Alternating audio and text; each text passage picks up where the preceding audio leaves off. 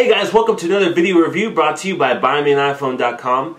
Today guys, I have another video review lined up for you and this is a product that was sent to me by Ballistic. and It is the iPhone 4 Ballistic HC Hardcore case, okay guys? And this is a really awesome case. Like the title goes, it is a hardcore case. There's only a few other cases in the market that are similar to this one. So I'm going to go ahead and show you guys the close-up details of this and tell you my experience and how it's been with uh, testing and using the Ballistic HC Hardcore case, okay? So let's go ahead and switch over to the close-up camera and let's do that now. Okay guys, so here we have the, this is the packaging that they actually sent to me from Ballistic. Now I don't think this is the actual packaging that comes with the phone, or the phone, the case when you purchase it off the website. I just wanted to show it to you guys anyways though, because it was something kind of cool they sent out to me. It's probably, I think they only send this to reviewers whenever, or the, like different members of the press when they get a sample of the Ballistic case. It's basically like a cooler. When you pop it open, you got like a chrome little packaging here, and here is the case. So let's put this box to the side. Like I said, I do not believe this is what comes with it when you order it. I, I highly doubt that it is. Here's the actual phone right here. Yeah, I'm sorry, the actual case. Now, guys, you may be familiar with a lot of different uh, cases in the market. There's a couple of them out there that are really similar to this. Maybe some of the ones that come to your mind are like the OtterBox Defender. Uh, has like a tough case. So this is in, in that type of ranks of that really tough, rugged, hardcore case, which is what this is called, the Ballistic HC Hardcore. So let me go ahead and take off all the pieces and show you kind of what comes with this and what you know what equals or what compiles to this actual case. So I'll peel everything off here.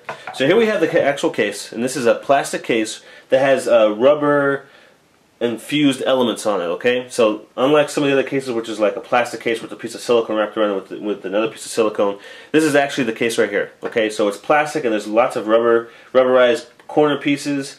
If you were to use it just by itself like this, this is very rugged and, and really really, really uh, hardcore, if you will.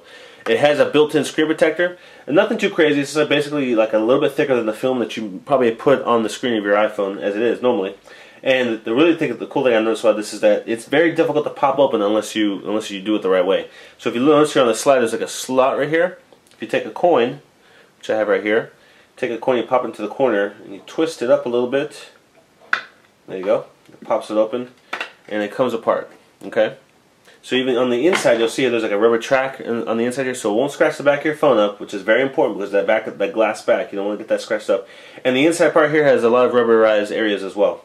And even the uh, the home button here has a little rubber button, so it's not like any hard plastic pieces that might be rubbed up against your, your phone.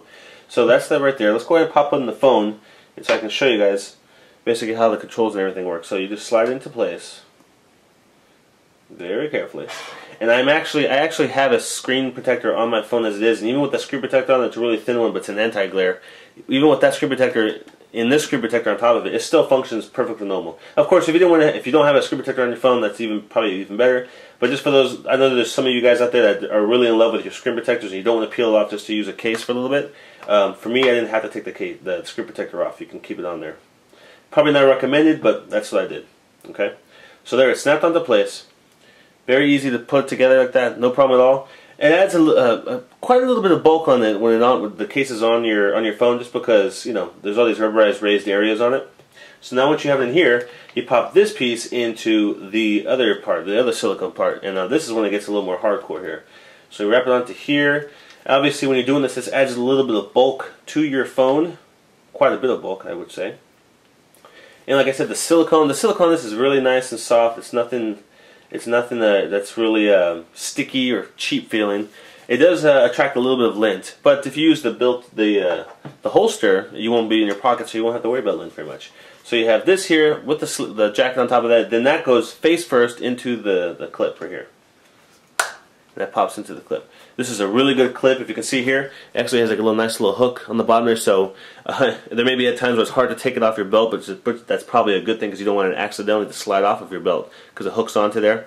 Really good clip. And this is a uh, snappable rotate to different directions. So it goes to there, stops right there, straight, and the other way as well. So you can carry it sideways if you want, which is a little awkward because it's not in the center. It's more towards the top. So doing it sideways is a little weird. Most of the time I just kept it like this, okay? And when you want to take it off, all you gotta do is lift up the front and pop it off, and there you go, you have the case. Now the one thing, uh, the one negative I did find about this that I think may be a problem or an issue you may run into if you use this a lot is, uh, let me show you here, when you pop it into there, so see how it kind of snaps into that, that front piece right there? There may be at times when you're trying to pop this out that you'll notice that the and I'm not sure if you can see it right there. Let me see if I can if I can pull it up. So when you pull up on it, See that that edge right here? That's actually the part of this of the the top piece that that snaps onto place. So the more this clip pulls on that, I'm not sure if it'll eventually wear that down a bit to where it might uh, it might mess that up and not hold as well. You see how it's kind of pulling up on there? So the more you snap on that, I'm thinking the more the more loose it may get. I really don't know for sure, but it's just something I noticed and I, I kept I mean I kept noticing when I was using it on and off one thing to consider. So let me go ahead and show you guys all the accessibility when it comes to having the, the big sleeve, the big big rubber piece on there, and then without that. So when it's on there, the top button is being covered up, standby switch. It has rubberized button right there. And the new version of this is going to have a plug that covers up the, uh, the headphone jack as well, but this one does not have that yet. On the side, we have our silent switches being covered up with the rubber here. And the, uh, the volume up and down buttons are being covered up with the inside, the inner part of the case with uh, rubberized buttons right here. Go to the very bottom. There's a little cover for the dock right here, dock connector, and you have your microphone and your speaker. Both are completely open. Nothing's been covering them up or anything at all. So when you dock, you do have to flip this up, or when you pop in your your card, your uh, sim, your syncing cord or charging cord, you have to lift this up. Home button is covered up, and there's a little rubber nub right there on that as well. When you go to the top, we do have the uh, the front-facing camera, which is not blocked. It lines up really well and the ambient light sensor is not being impeded or anything by the, by the, the clear plastic piece right there.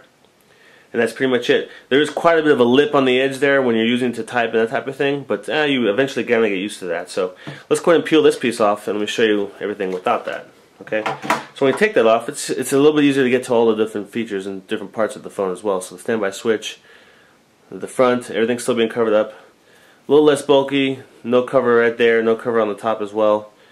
The back camera that the flash uh, sometimes I did notice that um, depending on how you take the pictures the flash doesn't really cause so many problems. I know some cases are having some issues with that. I didn't really experience any kind of weird weird haziness when I took pictures with one of those cases on it. Now when you have it with this one on here it adds a little bit extra uh, depth to it a little bit extra bulk. So you need to make sure when you snap it on that this is nice and snug because if this if this is moving around a little bit in your pocket or whatever, it may be times when the you made the flash may bounce off of that black right there. But for the overall most part, it doesn't really affect it at all. So guys, oh, I'm sorry.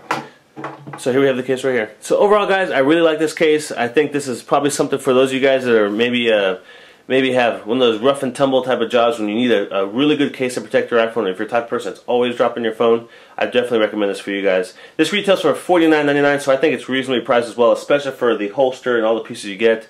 Um, I would definitely recommend this at that price point. So that's pretty much it for me today, guys. If you own this phone, why don't you go ahead and leave a comment and tell us what you think about it. And uh, put, go ahead and do that if you're watching this on buymeaniphone.com or if you're watching this on YouTube. Okay? So that's going to be it for me today, guys. I'll see you guys in the next review. Talk to you later.